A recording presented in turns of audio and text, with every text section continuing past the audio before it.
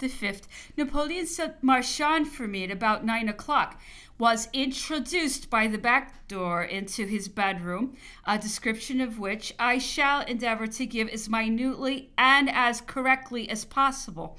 It was about 14 feet by 12 and 10 or 11 feet in height. The walls were lined with brown nankeen, bordered and edged with common green bordering paper and destitute of surface two small windows without pulleys, looking towards the camp of the 53rd Regiment, one of which was thrown up and fastened by a piece of notched wood. Window curtains of white long cloth, a small fireplace, a shabby grate, and fire irons to match, with a paltry mantelpiece of wood painted white, upon which stood a small marble bust of his son. Above the mantelpiece hung the portrait of Marie Louise and four or five of young Napoleon, one of which was embroidered by the hands of the mother. A little more to the right hung also a miniature picture of the Empress Josephine, and to the left was suspended the alarm chamber watch of Frederick the Great, obtained by Napoleon at Potsdam, while on the right the consular watch, engraved with the cipher B, hung by a chain of the plaited hair of Marie Louise, from a pin stuck in the nankeen lining. The floor was covered with a second-hand carpet, which had once decorated the dining room of a lieutenant of the St. Helena Artillery. In the right-hand corner was placed the little plain iron camp bedstead with green silk curtains, upon which its master had reposed on the fields of Marengo and Austerlitz. Between the windows there was a paltry second hand chest of drawers, and an old bookcase with green blinds stood on the left of the door leading to the next apartment. Four or five cane bottomed chairs painted green were standing here and there about the room. Before the back door there was a screen covered with nankeen, and between that and the fireplace, an old fashioned sofa covered with white long cloth upon which reclined Napoleon, clothed in his white morning gown, white loose trousers, and stockings all in one, a checkered red madras upon his head, and his shirt collar opened without a cravat. His air was melancholy and troubled. Before him stood a little round table, with some books at the foot of which lay in confusion upon the carpet a heap of those which he had already perused. And at the foot of the sofa facing him was suspended a portrait of the Empress Marie Louise, with her son in her arms. In front of the fireplace stood Las Casas, with his arms folded over his breast and some papers in one of his hands. Of all the former magnificence of the once mighty Emperor of Nothing was present except a superb wash stand containing a silver basin and water jug of the same metal in the left hand corner. Napoleon, after a few questions of no importance, asked me in both French and Italian, in the presence of Count Las Casas, the following questions. You know that it was in consequence of my application that you were appointed to attend upon me. Now I want to know from you precisely and truly, as a man of honor, in what situation you conceive yourself to be, whether as my surgeon, as Monsieur Mangot was, or the surgeon of a prison ship and prisoners, whether you have orders to report every trifling occurrence or illness, or what I say to you to the governor. Answer me candidly. What situation do you conceive yourself to be in? I replied, as your surgeon, and to attend upon you and your surgeon and your suite. I have received no other orders than to make an immediate report in case of your being taken seriously ill, in order to have promptly the advice and assistance of other physicians. First obtaining my consent to call in others, to he. Is it not so? I answered that I would certainly obtain his previous consent. He then said, If you were appointed as surgeon to a prison and to report my conversations to the governor, who I take to be un capo di spioni, a captain of spies, I would never see you again. Do not, continued he, Um, on my replying that I was placed about him as a surgeon and by no means as a spy, suppose that I take you for a spy. On the contrary, I have never had the least occasion to find fault with you and I have a friendship for you and an esteem for your character, a greater proof of which I could not give you than asking you candidly your own opinion of your situation, as you, being an Englishman and paid by the English government, might perhaps be obliged to do what I asked. I replied as before said, and that in my professional capacity, I did not consider myself to belong to any particular country if I am taken seriously ill, said he, then acquaint me with your opinion and ask my consent to call in others. This governor, during the few days that I was melancholy and had a mental affliction in consequence of the treatment I received, which prevented me from going out in order that I might not ennuyé, weary others with my afflictions, wanted to send his physician to me under the pretext of inquiring after my health. I desired Bertrand to tell him that I had not sufficient confidence in his physician to take anything from his hands, that if I were really ill, I would send for you in whom I have confidence, but that a physician was of no use in such cases, and that I only wanted to be left alone. I understand that he proposed an officer should enter my chamber to see me. If I did not stir out, a person, continued he, with much emotion, who endeavors to force his way to my apartment, shall be a corpse the moment he enters it if he ever eats bread or meat again. I am not Napoleon. This I am determined on. I know that I shall be killed afterwards, as what can one do against a camp? I have faced death too many times to fear it. Besides, I'm convinced that this governor has been sent out by Lord Blank. I told him a few days ago that if he wanted to put an end to me, he would have a very good opportunity by sending somebody to force his way into my chamber, that I would immediately make a corpse of the first that entered, and that I should be, of course, dispatched and he might write home to his government that Bonaparte was killed in a brawl. I also told him to leave me alone and not to torment me with his hateful presence. I have seen Prussians, Tartars, Cossacks, Kalmucks, but never before in my life have I beheld so ill favored and so forbidding a countenance. He carries the blank imprint on his face. I endeavored to convince him that the English ministry would never be capable of what he supposed, and that he was not the character of the nation. I had reason to complain of the admiral, said he, but though he treated me roughly, he never behaved in such a manner as this Prussian. A few days ago, he in a manner insisted upon seeing me when I was undressed and prey to melancholy in my chamber. The admiral never asked to see me a second time when it was intimated to him that I was unwell or undressed, as he well knew that though he did not go out, I was still to be found. After this, he mentioned his apprehensions of being afflicted with an attack of gout. I recommended to him to take much more exercise. What can I do? replied he, in this execrable island where you cannot ride a mile without being wet through, an island that even the English themselves complain of Though used to humidity, he concluded by making some severe remarks upon the governor's conduct and having his aide de camp and secretary round the shops, forbidding the shopkeepers to give the French credit under pain of severe punishment. The sixth. Had some more conversation with Napoleon upon the same subject as yesterday, which commenced by my submitting to him that according to the strict letter of the conversation of yesterday, it would be impossible for me to reply to any question addressed to me relative to him or to his affairs, whether made by the governor or anyone else which he must be aware was in my situation impossible.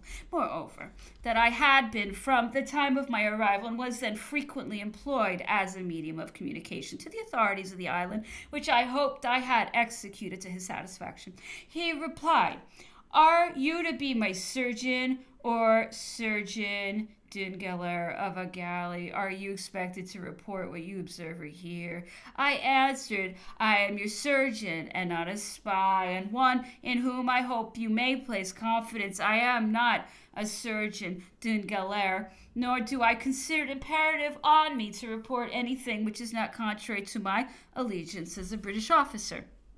I also endeavored to explain that I would regulate my conduct with respect to his conversations by the rules which existed to that effect among gentlemen, and as I would do, were I attached in a similar capacity to an English nobleman. But that total silence was out of my power. If he wished me to preserve any communication with the governor or with any other English persons on the island, he replied that all he wanted of me was to act as a galant'uomo gentleman, and as you would do were you sergeant to Lord St. Vincent.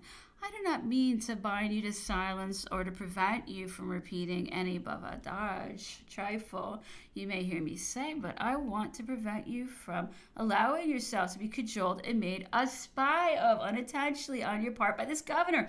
After that, to your God, your duty is to be paid to your own country and sovereign, and your next your patients.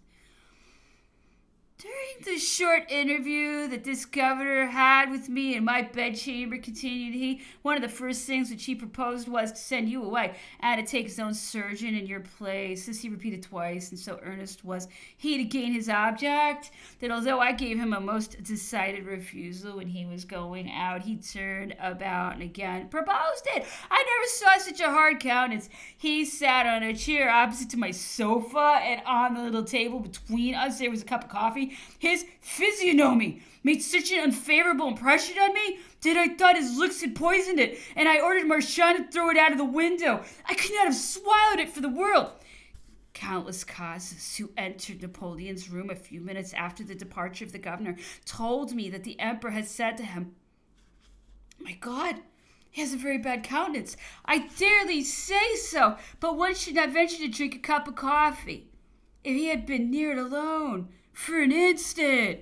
The 12. A proclamation was issued yesterday by Sir Hudson Lowe prohibiting any person from receiving or being the bearer of any letters or communications from General Bonaparte, the officers of his suite, his followers or servants of any description, or to deliver any of them under pain of being arrested immediately and dealt with accordingly. The 14th saw Napoleon in his dressing room. He complained of being affected with catarrhal symptoms, the cause of which I attributed to his having walked out in the wet with very thin shoes, and recommended him to wear galoshes, which he ordered Marchand to provide. I have promised, added he, to see a number of people today, and though I am indisposed, shall do so. Just at this moment, some of the visitors came close to the window of his dressing room, which was open, tried to put aside the curtain and peep in. Napoleon shut the window and asked some questions about Lady Moira, and observed the governor sent an invitation to Bertrand Fort General Bonaparte to come to Plantation House to meet Lady Moira. I told Bertrand to return no answer to it. If he really wanted me to see her, he would have put Plantation House in the limits. But to send such an invitation, knowing that I must go in charge of a guard if I wish to avail myself of it, was an insult. If he had sent word that Lady Moira was sick, fatigued, or pregnant, I should have gone to see her, though I think that under all the circumstances she might have come to see me or Madame Bertrand or Montholon, as she was free and unshackled. The first sovereigns in the world have not been ashamed to pay me a visit. It appears, added he, that this governor was with Blucher, and is the writer of some official letters to your government descriptive of uh, part of the operations of 1814. I pointed them out to him the last time I saw him and asked him, Is this you, sir? He replied, Yes. I told him that they were full of falsehoods and foolishness. He shrugged up his shoulders, appeared confused, and replied, I believe that I saw that. If, continued he, those letters were the only accounts he sent, he betrayed his country. Count came in and announced that several persons had arrived to see him, besides those who had received appointments for the day. Amongst other names, that of Arbuthnot was mentioned. Napoleon asked me who he was. I answered that I believed him to be a brother to the person who had been ambassador to Constantinople. Ah, yes, yes, yes, said Napoleon with a slight smile when Sebastiani was there. You may say that I shall receive them. Have you conversed much with the governor's physician? said Napoleon. I replied in the affirmative, adding that he was the chief of the medical staff but not attached to the governor as his body physician. What sort of man is he? Does he look like an honest man or a man of talent? I replied that his appearance was very much in his favor and that he was considered to be a man of talent and of science. 16th. Sir Hudson Lowe had an interview of about half an hour with Napoleon, which did not appear to be satisfactory. Saw Napoleon walking in the garden in a very thoughtful manner a few minutes subsequent to the governor's departure and gave to him the Dictionnaire de Girouette, the Dictionary of Weathercocks, and a few newspapers. After he had asked me from whom I had procured them, he said, Here has been this torturing executioner. Tell him that I never want to see him and that I wish he may not come again to annoy me with his hateful presence. Let him never again come near me unless it is with orders to dispatch me. He will then find my breast ready for the blow. But until then, let me be free of his odious countenance. I cannot accustom myself to it. The 17th.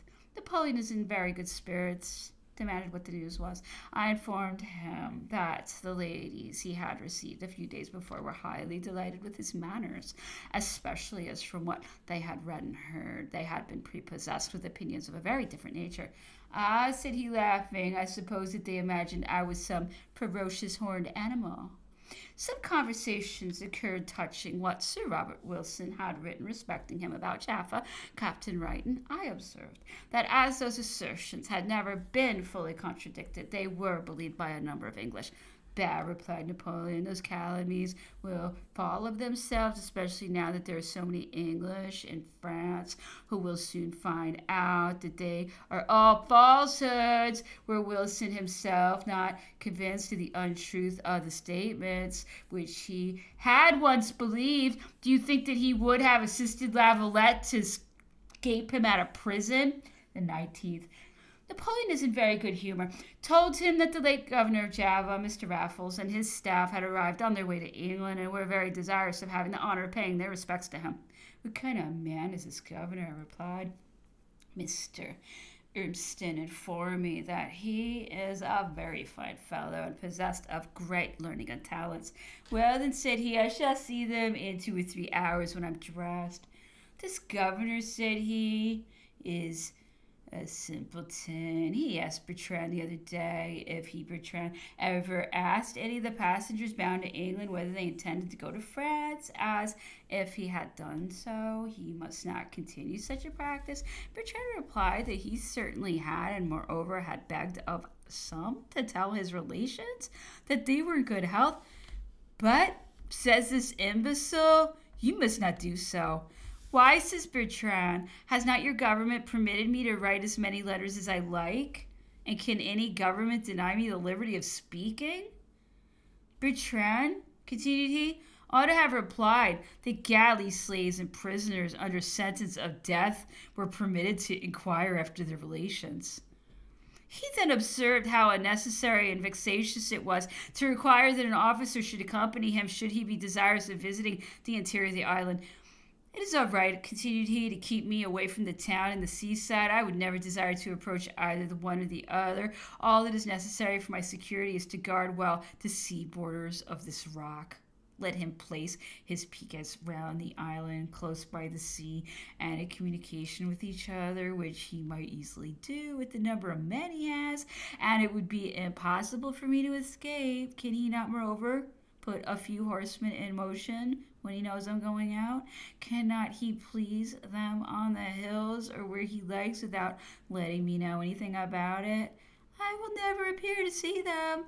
Cannot he do this without obliging me to tell Poppleton that I want to ride out? Not that I have any objection to Poppleton. I love a good soldier of any nation, but I will not do anything which may lead people to imagine that I am a prisoner. I have been forced here, contrary to the law of nations. I will never acknowledge their right in detaining me. My asking an officer to accompany me would be a tacit acknowledgement of it. I have no intention to attempt an escape, though I have not given my word of honor not to try. Neither will I ever give it, as that would be acknowledging myself a prisoner, which I will never do. Cannot they impose additional restrictions when ships arrive, and above all, not allow any ship to sail until my actual presence is ascertained without inflicting such useless and because useless, vexatious, restrictions. It is necessary for my health that I should ride seven or eight leagues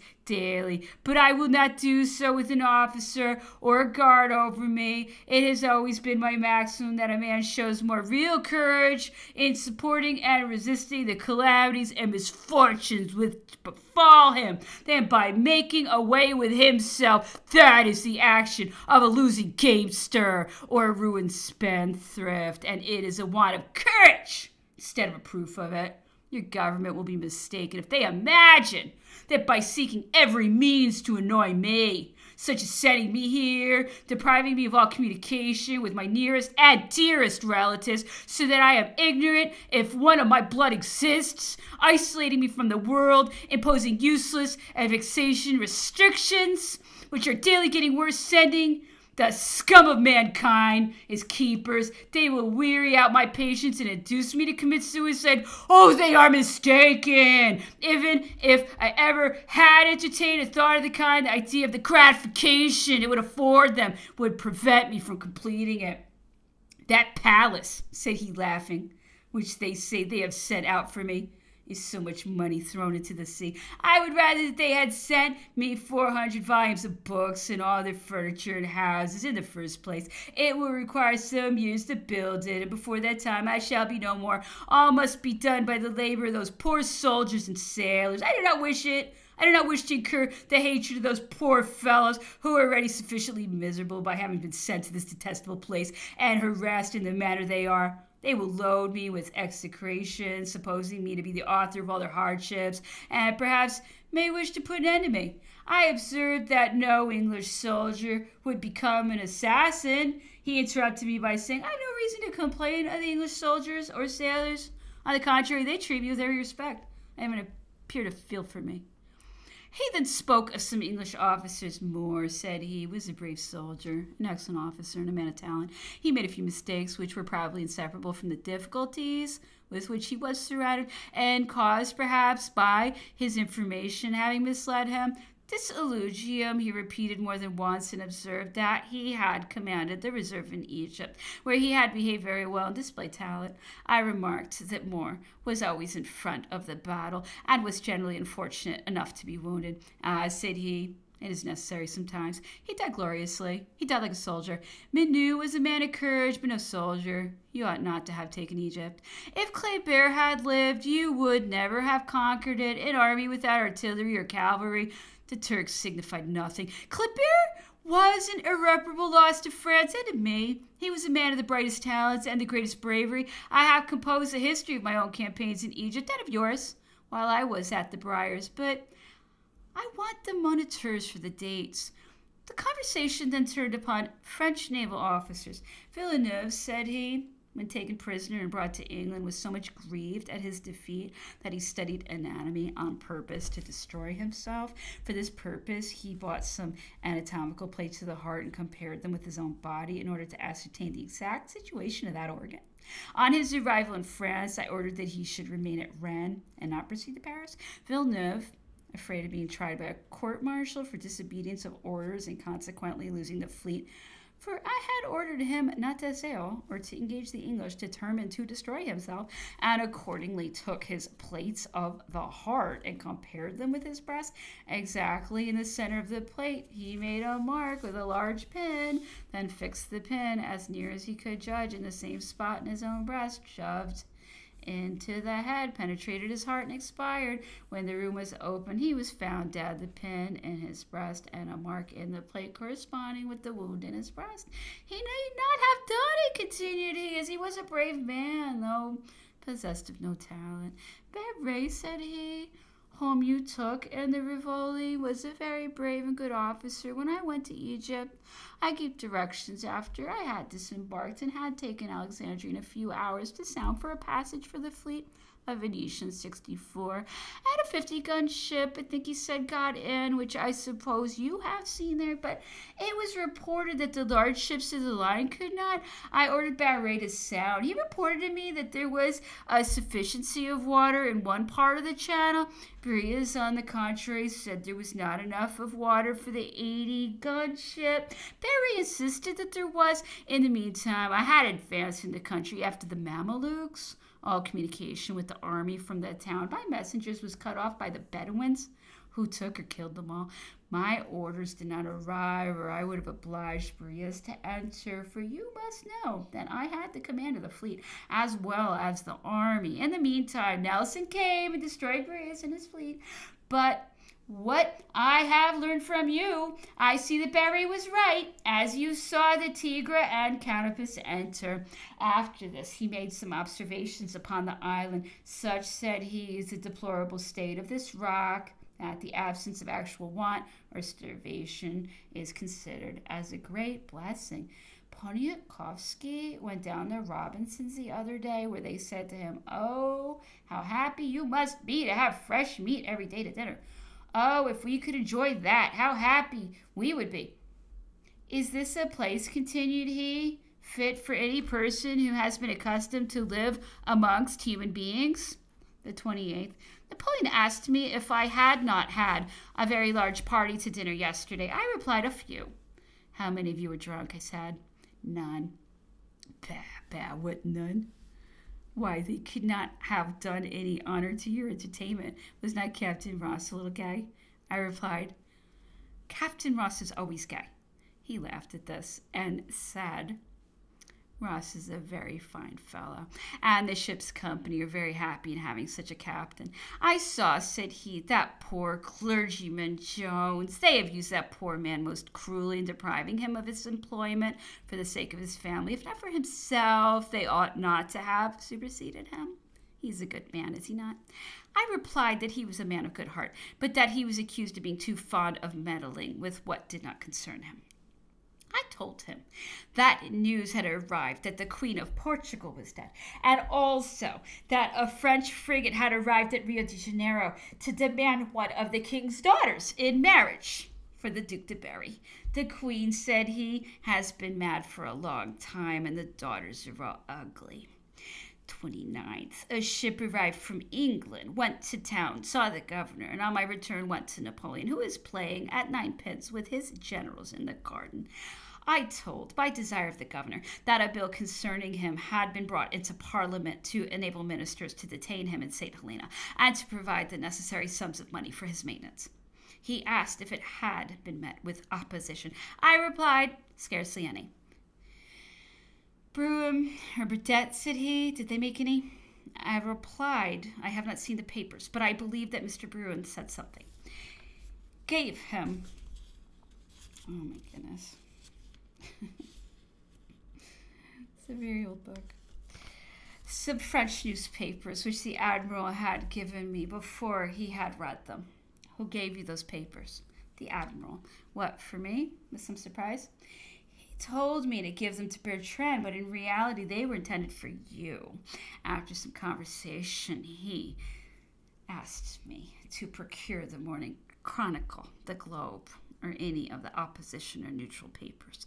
June 7th, breakfasted with Napoleon in the garden, had a long medical argument with him in which he maintained that his practice, in case of malady, was to eat nothing, drink plenty of barley water and no wine, and ride for several or seven or eight leagues to promote perspiration was much better than mine.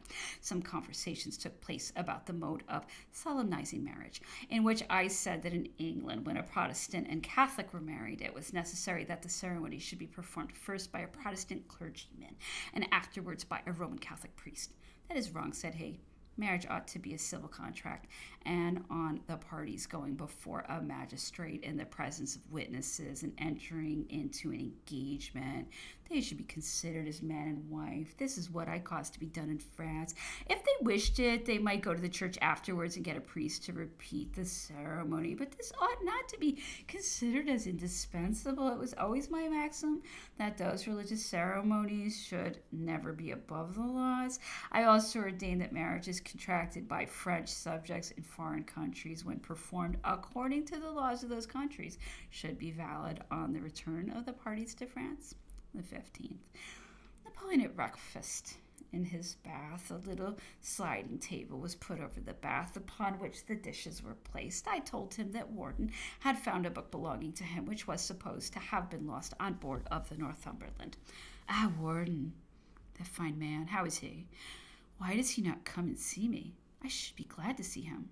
How is the chief physician? I said that he would feel highly honored by being presented to him if he would consent to see him as a private person and not as a physician.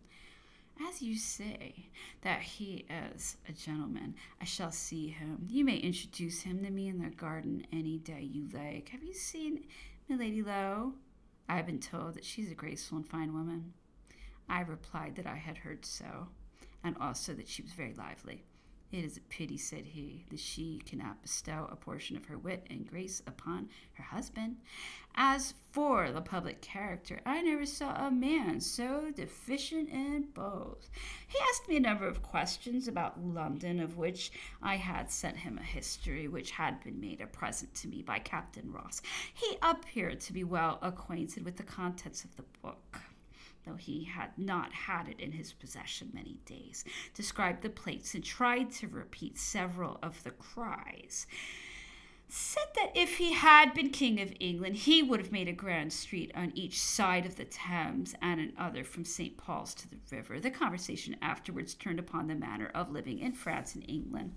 Which eats the most, said he, the Frenchman or the Englishman? I said, I think the Frenchman. I don't believe it, said Napoleon. I replied that the French, though they nominally make two meals a day, really have four. Only two, said he.